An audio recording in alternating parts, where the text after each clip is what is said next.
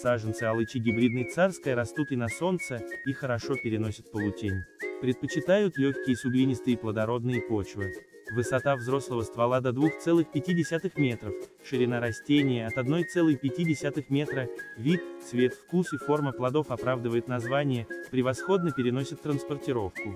Плодоносить начинает со второго года высадки, цветение в мае-июне, урожаи обильные. Особенности плодов. Повышенное содержание лимонной кислоты. Ярко-желтый цвет, восковой налет.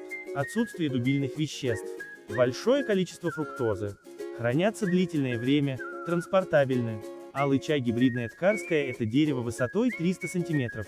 Алый чай гибридная ткарская имеет средний срок созревания. Важно, что алый чай гибридная ткарская частично самоплодный, обои полый.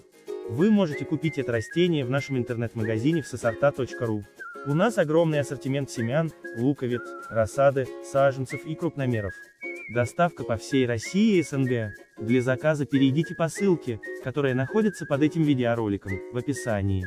Лайкайте наши видео и подписывайтесь на наш канал, чтобы раньше всех узнавать про новинки российской и зарубежной селекции.